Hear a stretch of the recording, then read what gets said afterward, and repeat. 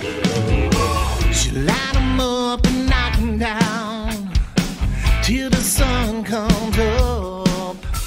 She'll have all the boys waiting in line just to see if they can keep up.